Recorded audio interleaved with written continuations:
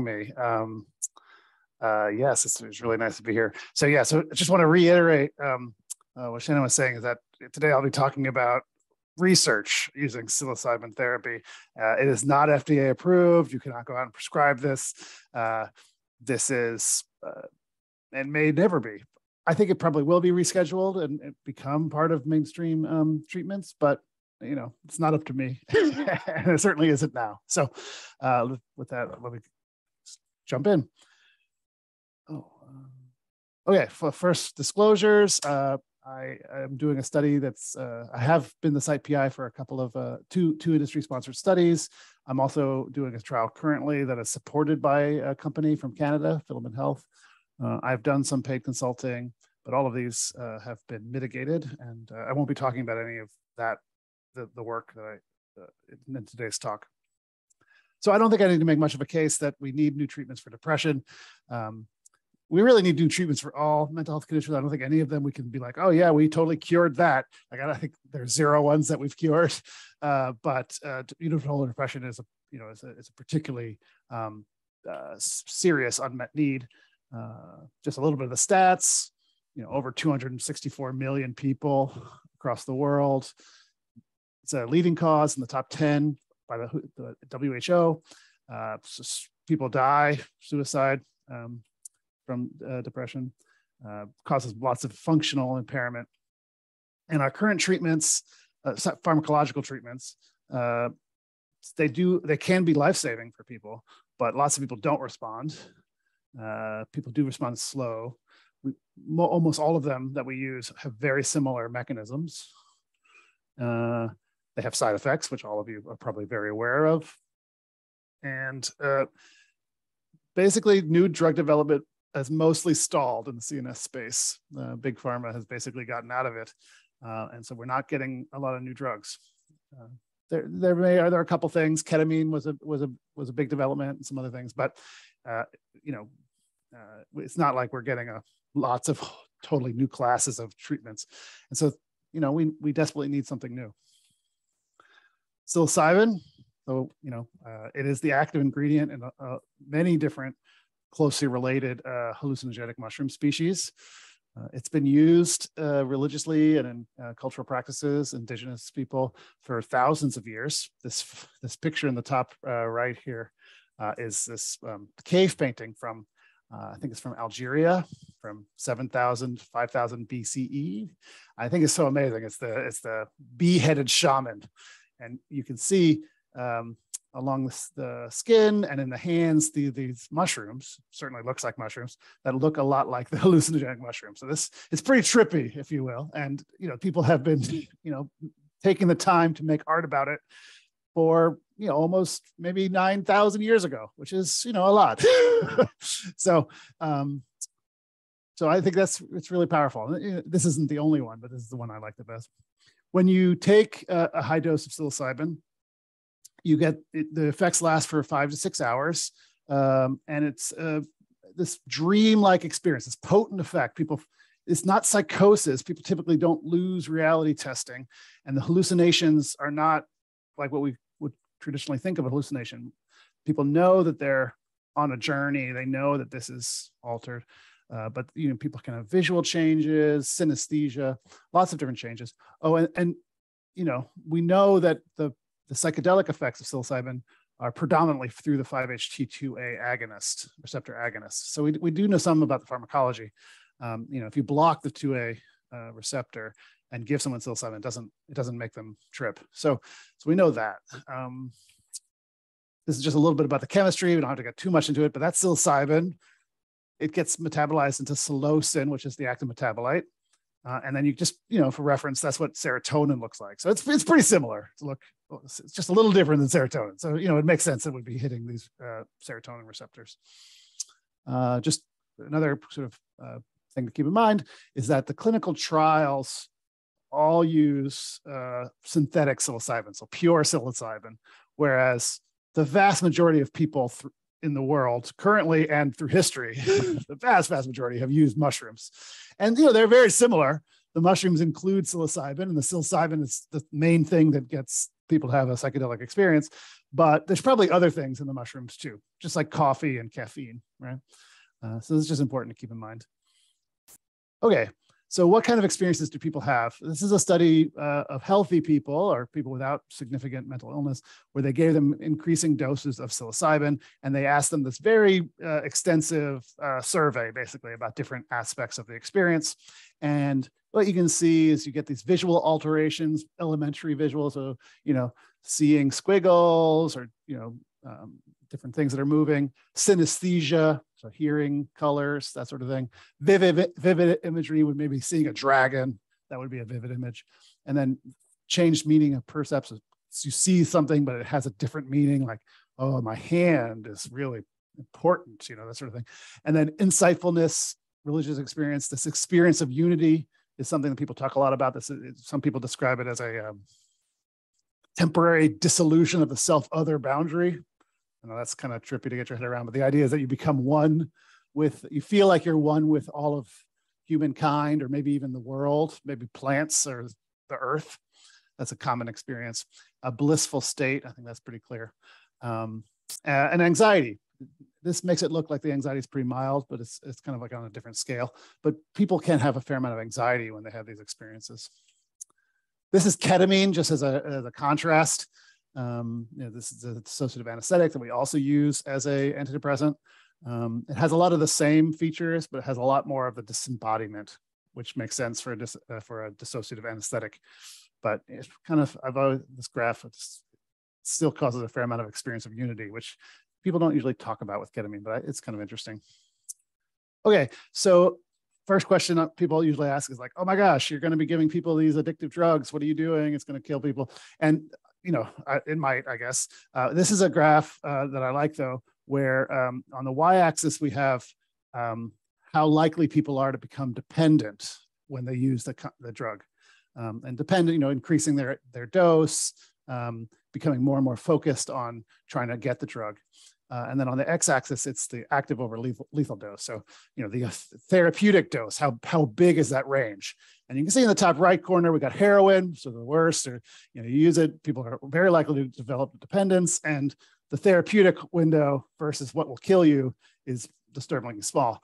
Um, uh, and so you can see, you know, a lot of things are up here. I just want to point out alcohol, right? We, alcohol is legal, but it's pretty, uh, doesn't actually have a huge therapeutic window and a lot of people become dependent on it. And we have a lot of legal um, dispensaries all over every state uh, with very poorly trained bartenders, right?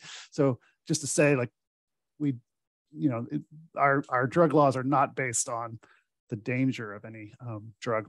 And you can see the psychedelics are over here, and that they don't have people do not very very vanishingly rare will escalate their dose um, or become you know uh, using it more and more uh, and the the traditional uh, uh, risks, they're, they're, they're, the, the lethal dose is kind of only theoretical. Now, if you took a very high dose, you would be unhappy and people kind of freak out, but they don't die. It doesn't make their heart stop or um, it makes them stop breathing. Okay, uh, one one uh, sort of important thing to think about is the micro versus macro. I put them in quotations because they're not they're not actually metric, so, so they're not really being used as a, as a like there's not nano dosing. You know, like people people they don't mean it like that. What what they mean is micro dosing is when people are taking a psychedelic, say um, dried mushrooms, at a sub perceptual dose. And typically, when people do that, they're doing it every three days or so. Um, it, it is interesting in that you know traditional cultures uh, do have descriptions of using low doses of uh, psychedelic plants to have various therapeutic benefits and functional enhancements. You know, decrease appetite or being able to stay awake, that sort of thing. Um, and then the modern practice actually. There's a, a book. this book by James Fadiman came out, and, uh, and it made, became very popular since 2011. So it doesn't have a, a, a very long history, but there are lots and lots of people who are uh, proponents of it. Uh, and then people don't typically call it macro dosing, but I, I, I call it that because I wanted to differentiate it from micro dosing. What this is what's actually been studied in most of the clinical trials. This is where you take a, a, a high dose and with the goal of having a, a psychedelic experience, or some people call a full psychedelic experience. typically people who are doing this are not doing it more than month once a month, but typically much less frequently than that. Um, and this is what a lot of people, you know, have noticed in traditional cultures. There's many different traditions that have used high dose psychedelics uh, for various uh, purposes. You know, ayahuasca, psychedelic mushrooms, other psychedelics as well, um, mescaline, just a couple of examples. Uh, just quickly talking about microdosing, uh, there are lots of these observational studies where you you know you ask people, oh, do you microdose? And people are like, yes. And then they ask them a whole bunch of questions, and then they ask a whole bunch of people who don't microdose. And uh, lo and lo, and, you know, not so surprising, the people who believe in microdosing and know that they're microdosing say that they are better off when they're microdosing.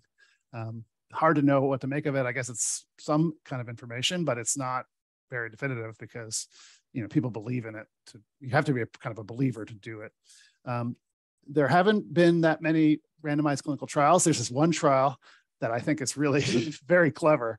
Uh, I wish I had thought of it. So, so what they did is they found people out in the world uh, who were going to start microdosing, like just on their own. They're like, "Oh, are you going to start microdosing?" And the person's like, "People say yes, I'm signing up. I want to." And and and and do you have your own drugs? so like they didn't provide the drug. The person has their own drugs, and then they figured out a way to randomize people using their own drugs to be uh, to have a placebo or um, uh, or, a, or a psilocybin or LSD which is very clever. And so they got a big sample, but they don't know these people. These people are just like people from the internet. Um, but they do know if they're going through the motions and scanning the different aspects. And they had, uh, this is the, the thing, they had baseline, then people did four weeks of microdosing or placebo, and then they did an assessments uh, follow up. And they, they had three conditions actually placebo, uh, half half group, and the microdose group.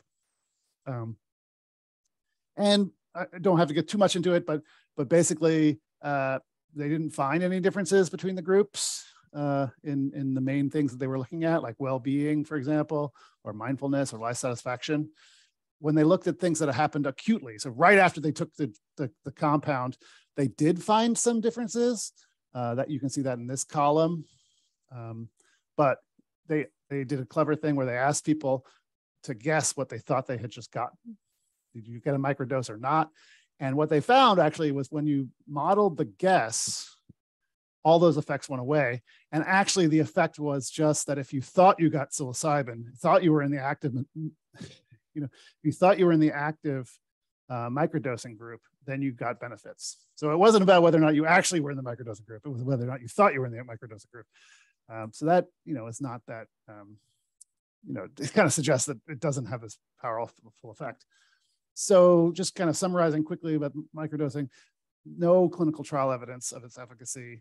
Positive expectations likely play a large role, but actually no one's done a study in a clinical population. There's been no study of microdosing in depressed people, for example. So that those people from the internet, you know, they they they don't have a mental health problem. So what exactly, like, what's the right thing to look for for a change anyway, right? Um, and uh, you know, so I think it's still an open question. You one could imagine that uh, low doses of psilocybin, say, could be like an SSRI. I mean, it doesn't have the same mechanism, but it's affecting the serotonin receptor, and you could imagine that working. But but really, there's no evidence yet, one way or the other. Okay, that's all I'm going to say about microdosing. Let's switch over to macro, macrodosing. So modern psilocybin trials. So there's been several. Well, there was a whole phase of research back in the 60s and 70s. Some of you may remember this. Then it got shut down for political reasons. Um, and then it's there's been a renaissance over the last I would say 15 years now. I'm gonna, I'm just going to be talking about this modern time. So the modern clinical trials with high dose psychedelics, um, it, it, the, the model is a combined psychotherapy drug um, treatment. And so the way it, and, and um, even more tightly you know, even more specifically, the therapy that goes with the drug treatment is really uh, there are a bunch of aspects to it, but one important thing is to sort of optimize the set and setting. That's kind of jargon. Actually, that's Tim, Timothy Leary's jargon that we're, we're, we're stuck with. Um, but what, what that means is the mindset. So what the person's intentions are, why they're doing this, and then the setting is like where they're doing it and, and how the environment is uh, set up for that. So the way this typically works is that say in a depression trial, the patient comes in and meets with their therapist. It's actually kind of funny. There's this old joke that scientists would rather use each other's toothbrushes than their name, their, their nomenclature. So different groups will call this person different things. So are they a therapist? Are they a guide? Are they a sitter? You know, are they a facilitator? You know, people argue about these things. I'm going to call, well, I'm going to call them facilitators and therapists um, because I think this is psychotherapy, but some people even argue about that. But whatever, the patient with depression meets with the, their, their therapist and they do what's called preparation. So they will get to know each other, build rapport, talk about the story of the, the history of their depression, talk about psychoeducation about what they might experience on the psychedelic, and then um, you know talk about sort of practical things about the dosing day, about how it's going to go, and and you know um, where the bathroom is and how they're going to help them with the bathroom. Uh, and then also talk about what they're hoping to get out of the experience. That's typically most studies is like six to eight hours spread over a couple sessions.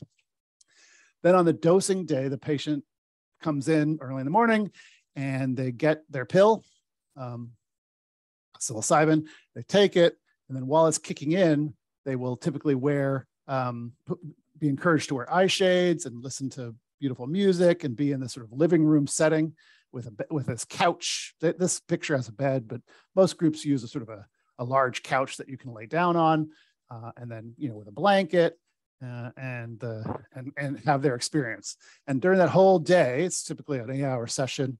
Uh, the facilitator therapist is typically sitting next to them and staying with them, and they're never left alone. Um, and sometimes if people become anxious or upset, the, the the facilitator will be there to help them ground themselves. But most of the experience, you know, pe- people can lay there for five hours and and not talk at all, right? Have a totally internal experience. So it really isn't. If any of you have seen things with the MDMA therapy, it's pretty different. The MDMA therapy, people are are typically talking a fair amount. There's a fair amount of active therapy.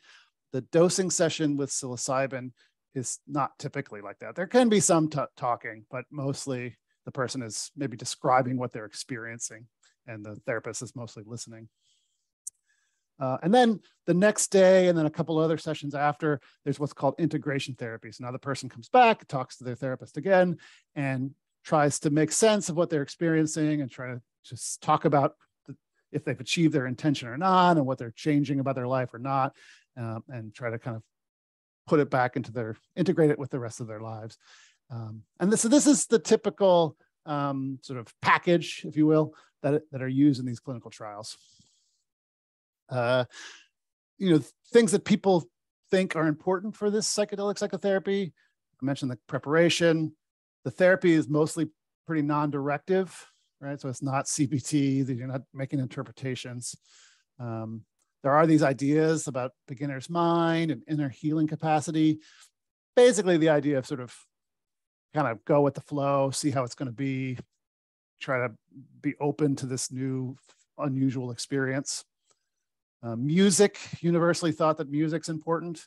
Uh, you know, if you ask the patients, the patients will say, oh yeah, the music was super important for my experience. People describe the music as having sort of becoming part, like coming from inside of them often, or you know, blurring the where the music's coming from, and also um, feel like the music provides uh, some sort of substrate for their experience. I don't know, it's kind of hand wavy, but that's that's what people describe. Uh, and then integration, as I mentioned. So now I have a video. Um, this is a video of a man who participated in the one of the cancer trials from Hopkins. He has prostate cancer and he's talking about what it was like for him. And let me see here.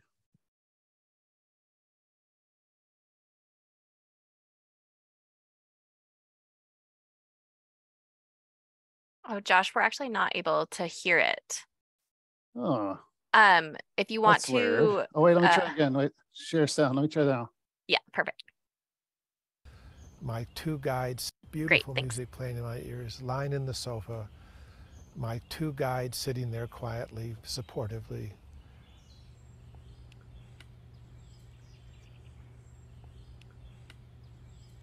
And what it led to was a reawakening what it felt like when my first daughter, Tanya, died. And the feelings just came flooding out.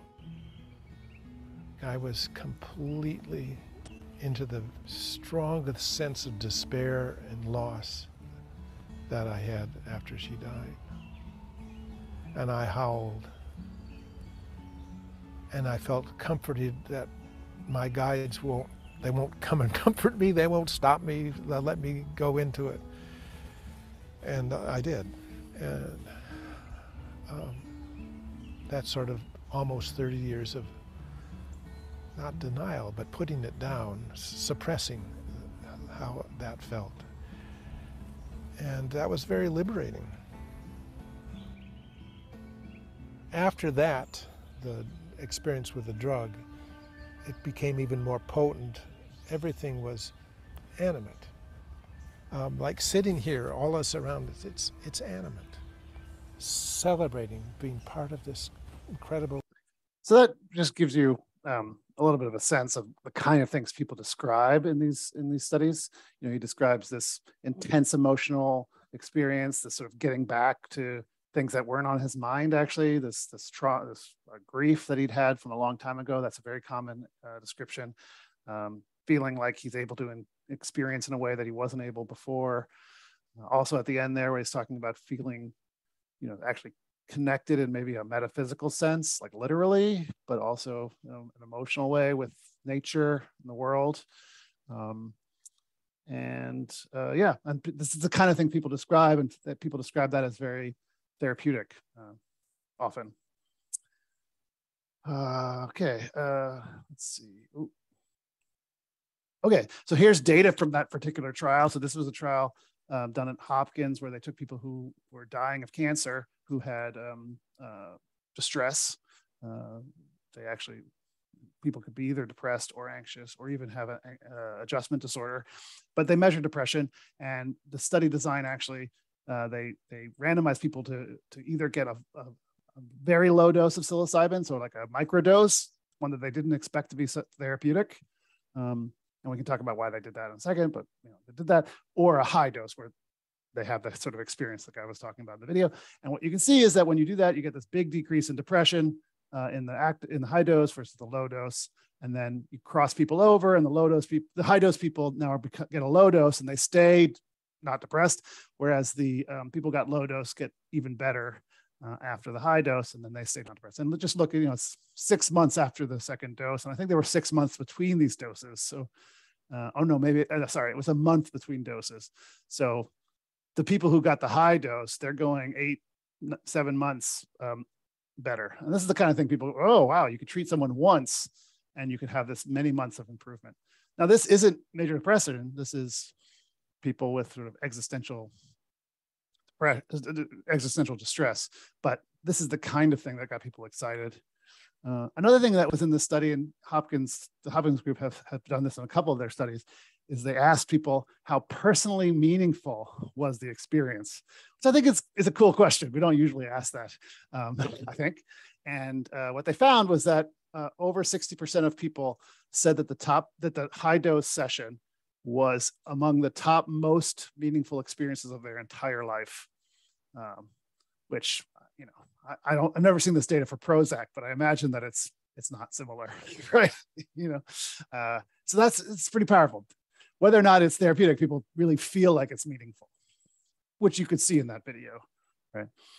Uh, I'm going to skip this. Okay, so this uh, this is another study that was done uh, back in 2016. This is treatment-resistant depression. So these were very sick people. Many of them had gotten ECT, failed multiple medications. Uh, it was open label, uh, but you, again, you can see people their depression goes down and stays down uh, for many months after a single treatment. Here's a more modern trial that just came in the New England Journal.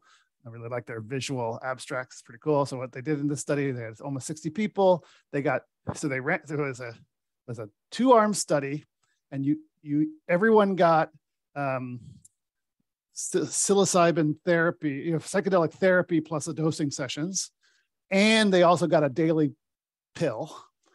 Half the group got active psilocybin in their dosing sessions and placebo in their daily pills and the other group got escitalopram in their daily pills and took placebo during the dosing sessions. So it was really a head-to-head of psilocybin versus escitalopram. now we can talk about many of the challenges of this, but their primary outcome uh, did not separate with a failed trial. That's how the paper is written. Um, however, and here's the data. So this is um, mean change. So there's no separation here in their primary outcome, which is the kid, QIDS, which is the self-report scale. Um, this is uh, well-being measure, which did separate, but it was a secondary measure. Um, however, in the supplement, they, they show this. This is, they were really kicking themselves about the, the measure they picked as their primary outcome because they had a, a lot of secondary measures and they get separation for all of them except for their primary. So, you know, they tried to, you know, uh, finesse this, you know, because right, because like just as a clinical trial thing, you, you know, we are expected to pick to put our nickel down. Like, what is the primary outcome what do we say is going to be a successful or not successful trial and it's it's good right because statistically if we don't do that you could just put an infinite number of depression measures and pick the one that works and you'd get some just by chance. And pharma companies big pharma have, have done that in the past right? So that, that this has been an evolution. But then you you get situations like this and it's hard to know exactly what to make of it. Um, uh, so yeah so that so but this is the the most recent study and you know take take take it from it what you will, right? Okay, uh, switching gears a little bit, I kind of hinted a couple places about the challenges. This is the one and only meme that I've made.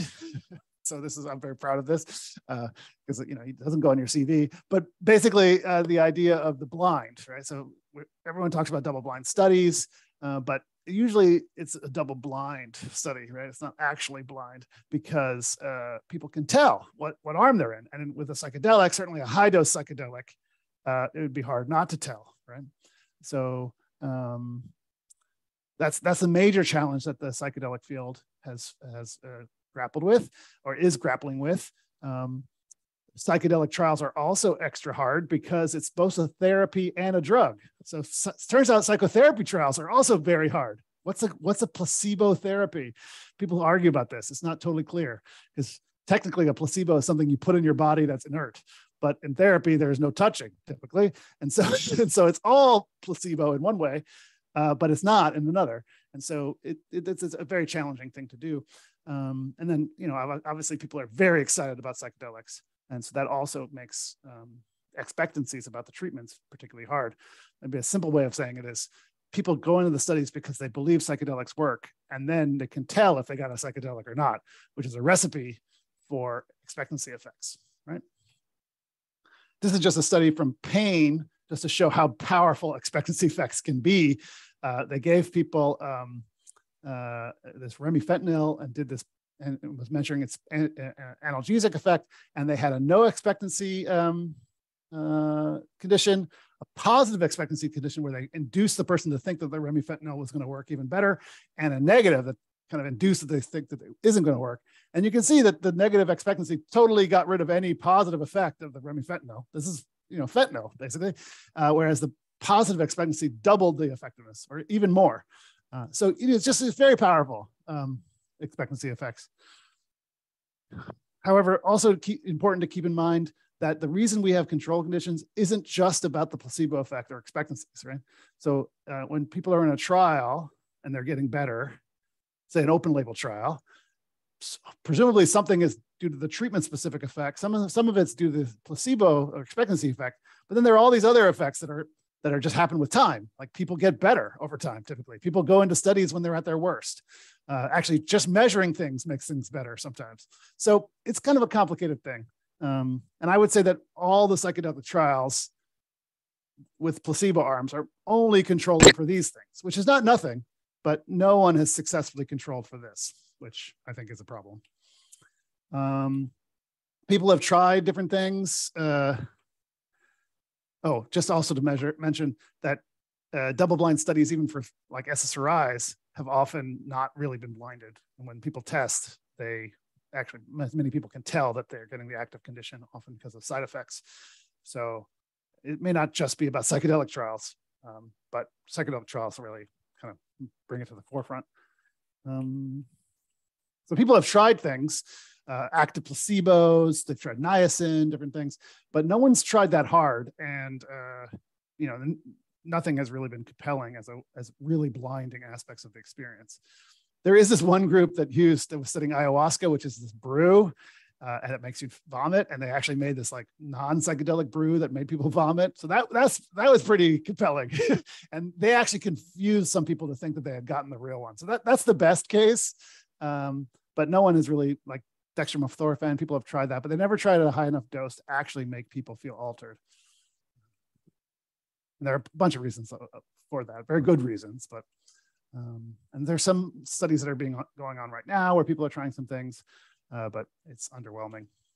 Uh, okay, incomplete disclosure is another thing people can try. Here's a study that isn't published yet but from a colleague of mine at Stanford. It's an amazing study. What he, he's an anesthesiologist, and what he, he's doing is he's taking people who are getting surgery for something else and uh, anesthetizing them either with ketamine or without, right? But it's totally blinded. So people have no experience because they're unconscious because they're, they're having surgery. And what he finds is that everyone, their depression, everyone's depression gets better, but there's no difference between the groups. Just to give you a sense, you know, that expectancy can have big effects, even, right? Um, and, you know, we'll see when this paper comes out and such, but I, I, think it's a very powerful thing. Ketamine, we think, is this active antidepressant. Um, but something, something quirky is going on, and it probably has something to do with expectancies. I'm going to skip this just for time. Last thing I want to talk about is a major issue with psychedelics is they're serotonergic. What about SSRIs? If they're going to be an antidepressant, what goes on with SSRIs? Can can you can we use them together? The lore is that you can't. The lore is that SSRIs uh, blunt the effects of psychedelics, and so we we we but no one's done trials of it or anything really. So we wanted to sort of take a first step. So what we did is we, we went to reddit to, to, to ask the people uh, the, all the amateur psychopharmacologists who write about their psychedelic experiences. And what we did is we we, we did a, a systematic search of reddit comments about psychedelic mushrooms and ssris and we found all the comments. We found individual non-redundant comments. And then we coded them each comment for whether or not the person described it as their psychedelic experience as no change or enhanced, like they had a more intense psychedelic experience, or blunted, they had a less intense psychedelic experience. And you can see that on Reddit, uh, and uh, we have 421 uh, unique comments. Uh, more than half of people said that when they were on an SSRI, their psilocybin experience was blunted. Here are some quotes. Recently started taking my meds, all off about a little over a month ago and took a four gram shroom trip this Saturday with some friends. We all took the same amount. I don't think I was tripping as hard as them, but I was definitely still tripping. In my opinion, it did not feel less euphoric than the trips I've had before. So we, we, quote, we would code that as a less intense trip. And then here's, I've been on 10 milligrams of escitalopram for years, and the first time I dosed was 2.5 grams, and similar to the experience you described, I upped the dose to four grams the next time it had a much more real trip. Now for a recreational dose, I take anywhere between three and eight grams. So maybe you just have to take more. So this person's saying that they have to up their dosage of the of the shroom while they're on escitalopram. I I would go for it. I've taken both shrooms and acid on three milli, 30 milligrams of Celexa and didn't know most of a difference with or without the SSRI. So this person would be coded as no change. Um, we also looked in all these comments to see if anyone said that they had anything that we could be called an adverse event and we did find some small numbers. There was one person who reported having a seizure, um, uh, and then uh, some people described anxiety, uh, and uh, one person described being hospitalized, and also some physical things. But you can see only 18 of 100, 421 people, which is probably the same rate of people not on SSRIs. So there doesn't seem to be any safety, particular safety concerns with SSRIs. Um, yeah, so here's some quotes. Whoa. Um, I'm going to skip that for now. On the other hand, so, so our Reddit study suggested yes, SSRIs do blunt the effects of psychedelics, but there have been these two trials, which I think are really interesting. Uh, well, no, this one trial, sorry. This uh, they took 27 people who are healthy, not mentally ill, uh, and did a within subject study where they randomized them to either get Lexapro or placebo for two weeks. And then everyone got 25 milligrams of psilocybin, which I thought is very clever. And um, what you can see here is uh, the black circles are um, the people who got a escitalopram, and the white circles are placebo. And you can see that they're really, if you look at, just look, at, this is oceanic boundlessness. I forget what AED stands for. These are different aspects of the psychedelic experience. The ones that I showed you earlier with that, that um, spider plot. But you can see there's really no separation between placebo and escitalopram, except for this one, which is anxiety. So people had less anxiety when they were on escitalopram, um, which I think is pretty cool. so like, so th- when you do it this way, it, people, half the people did not have blunted um, effects of the psychedelic when they were on escitalopram. Now, maybe it's because they were only on the escitalopram for two weeks. Maybe you need longer. No one knows, but uh, it's still an open question. Um, the other thing, this is these are acute drug effects. So there did seem to be some blunting of the acute, acute drug effects in the escitalopram group, but also bad drug effects in particular, but not how much they liked it, how stimulated they felt, or how much ego dissolution they had, or how high they felt. So this study kind of suggested mixing the escitalopram and psilocybin makes the trip easy, you know, um, better, maybe less anxiety provoking. Okay, um, it, it also decreased the blood pressure and heart rate changes and acute adverse events. Uh, not that they were severe, but just you know unpleasantness that people described after psilocybin. So let's see. We have we have 20 minutes. I could talk about a study that we did, or we could go to questions. Is there? Uh, what do people? Maybe I'll stop for some questions because I, I, I probably there are lots of them. That's a great idea. Um, we did have one question in the chat so far. Deb I'm wondering if you want to come off of mute and ask your questions that you put in there. Sure. Uh, although, although uh, Josh, you pretty much already asked it. Oh. Uh, I was curious uh, whether or not the studies had made observations for persons who were non-recreational users or uh, uh, non Uh, uh, uh, psychotropic users, and um, and you answered that. oh. Okay. Yeah. So yeah the, i mean the, the, the trial that i was describing those are people who are not users or in mental health. You know these are you know yeah. Any options for, to get psilocybin for an idaho patient? Uh, so the only option for anybody in america to get psilocybin treatment in a legal way is to be part of a trial. And so you can look for trials in clinicaltrials.gov um, and there are trials going on and you know the new ones starting up all the time. Uh, i can tell you that the interest greatly exceeds the the um, supply right? Uh, like you know we're yeah so lots of people would like to be in these trials uh, and it's actually it's very sad right? Because um, we just can't provide it now that's appropriate because we're still doing the research but we can't do the research at this at the speed of people who want to who want to try it um, there are also um, there are also uh, states like Oregon that are decriminalizing it and trying to legalize it. So there are a lot of places in America that it's decriminalized, but you still still can provide it as a treatment without serious risk for your license, right? Um, uh, but there are Oregon is trying to make a, like a sort of a shadow FDA where they would have their own system for providing this as a treatment, but that hasn't happened yet. There are also places outside of America. So the Netherlands, uh, you can go, uh, and there are some places in South America, but those you're, you know, really rolling the dice, and you know, it's it's a gray zone. Um, it's not illegal in those countries, but it's not regulated well either. So, um, I, I, you know, I get to ask this question a lot, and basically, I, I, I basically say, I'm sorry, I don't, I don't have any good recommendations for you. Um, uh, okay, other questions. Uh, are there mental health contraindications? So great question. So I have a se- whole separate talk about bipolar. So we're, we're, we're just starting up a trial where we're going to give psilocybin for depression and people with bipolar 2.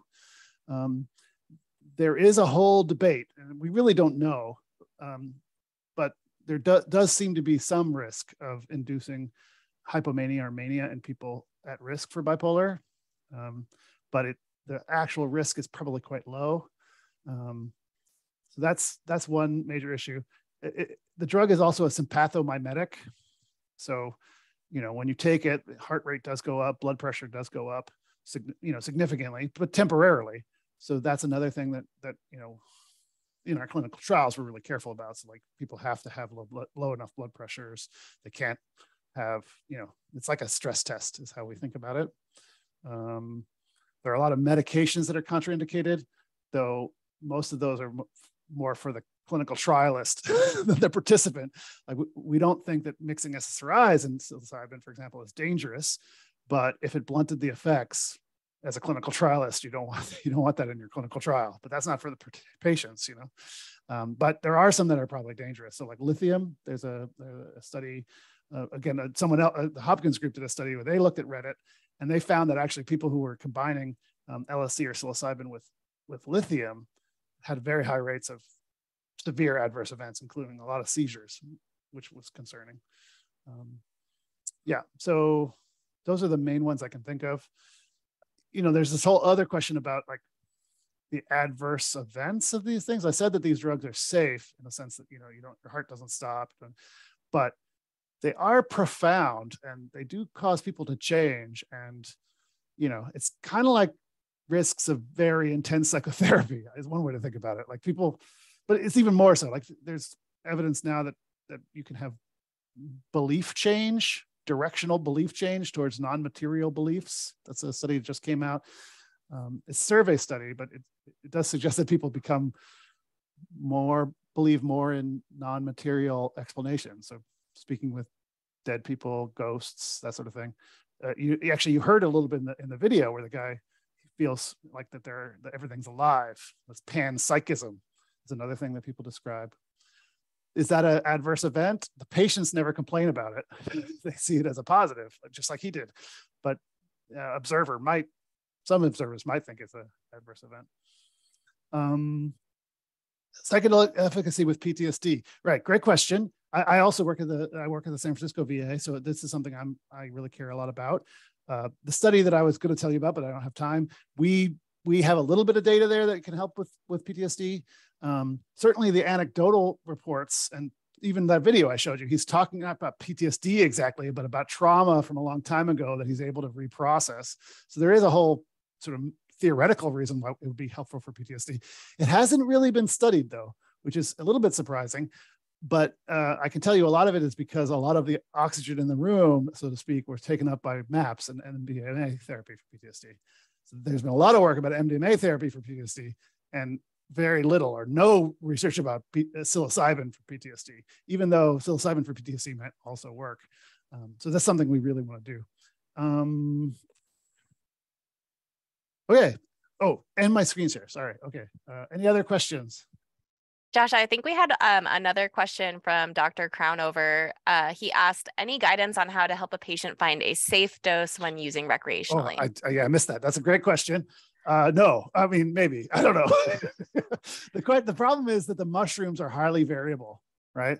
Um, and so even even within one mushroom, different parts of the mushroom have very different concentrations of psilocybin.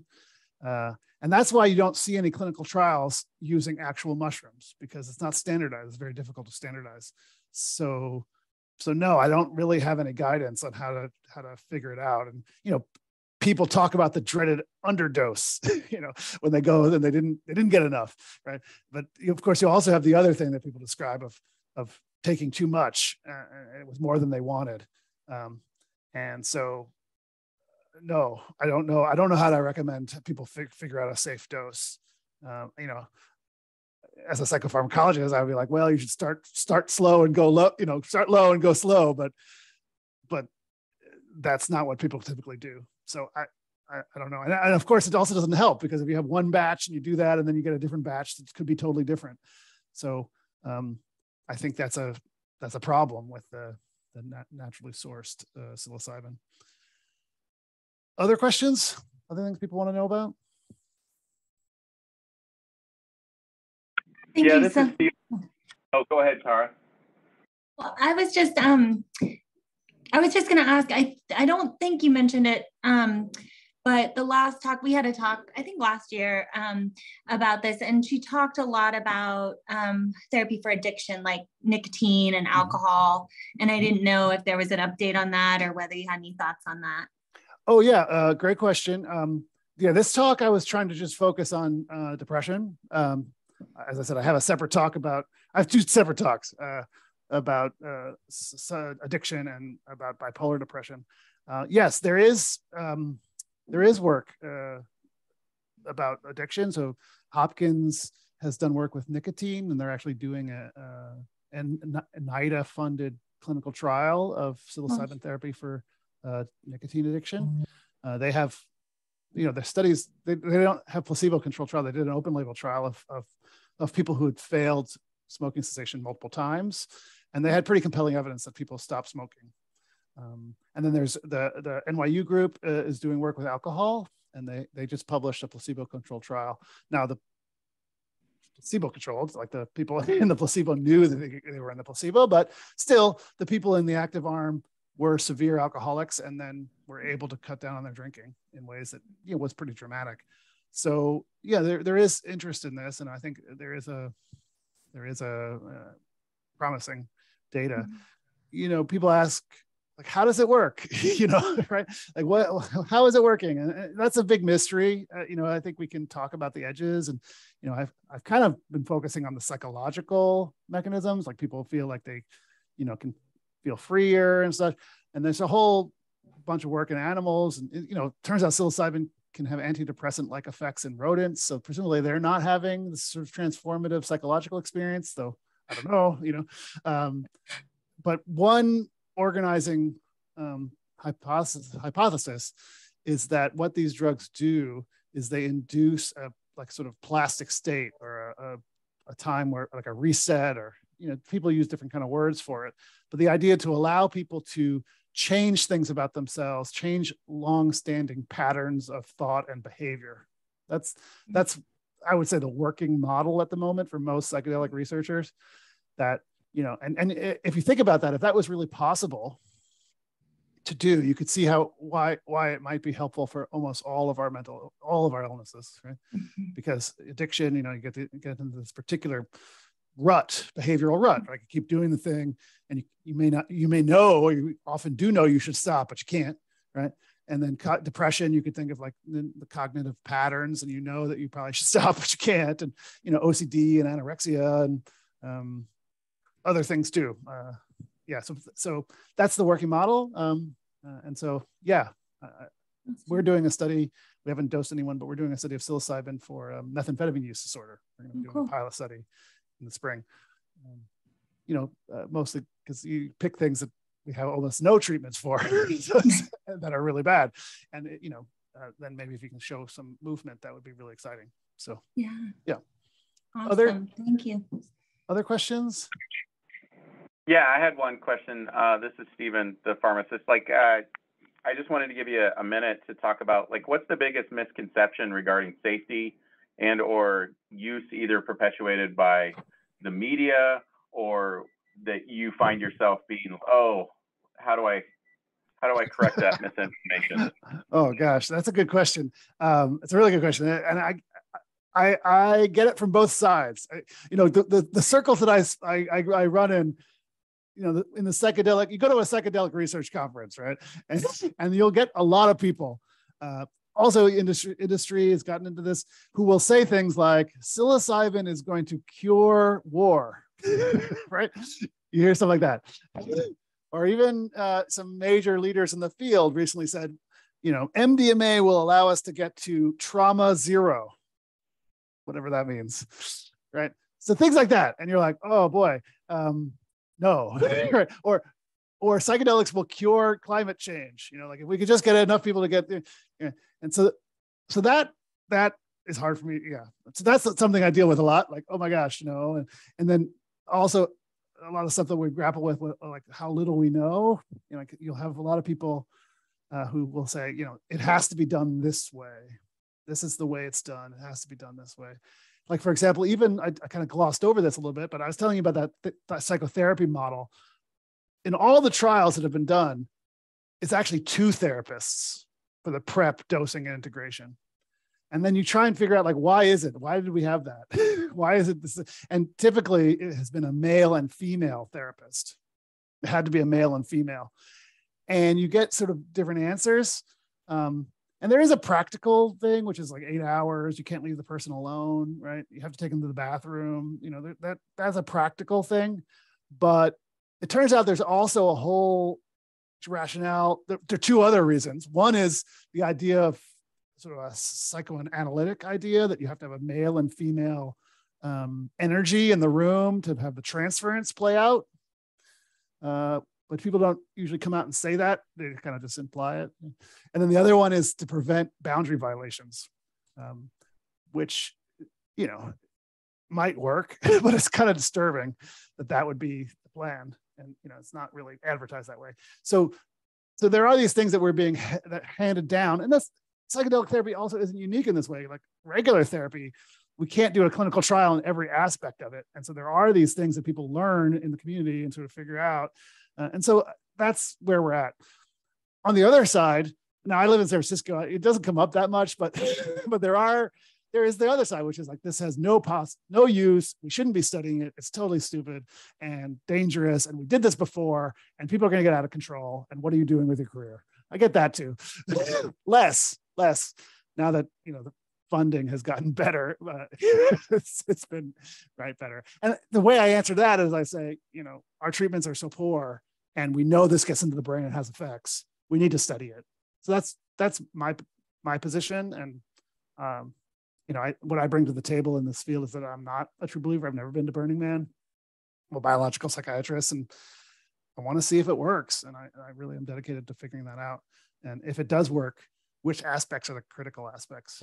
because you know it, it would be a suppose it works but all the psychotherapy isn't needed. That would be a, that would be a horrible uh, mistake on our part. A huge amount of wasted resources and time.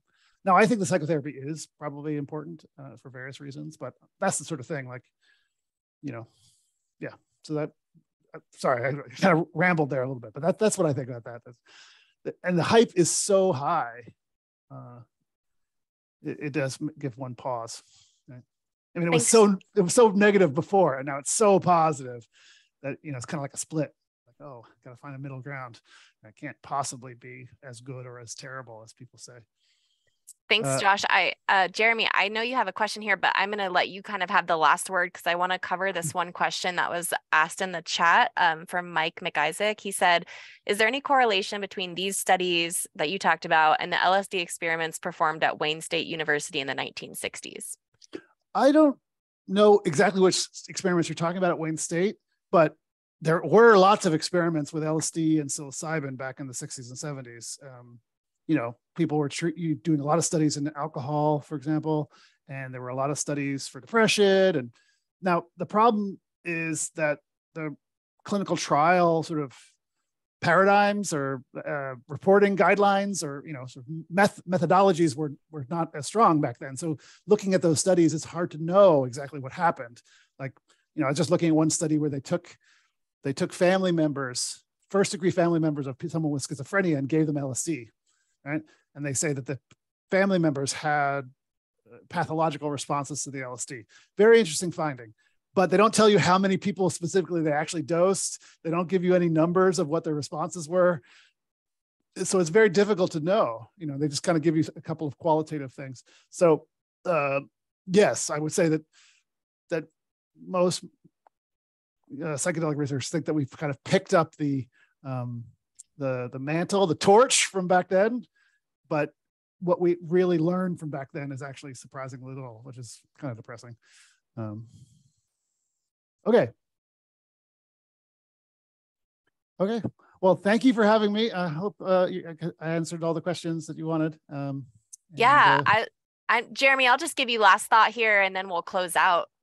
Sure. Um, thank you so much, Dr. Woolley. But I, am curious about um, did, did the outcome ever change based on who the therapist was or who the therapists were? Like, did different different people produce different outcomes based on what they were like as the guides? No one is. It's a difficult thing to study. We don't know. Like all the trials try to make it seem like everyone's interchangeable. you know, like no one is. No one has tried to study that at that level, and and it would be hard. It would be hard to do. But I, I think that's a really important question. And and you know, it, it, regular psychotherapy has this challenge too, like the, the dodo effect, right? Like how to prove that like a more a better trained therapist or someone with more years is actually better is actually surprisingly hard. Um, so I think that's a that's a really uh, important question that I don't have a good answer to. awesome.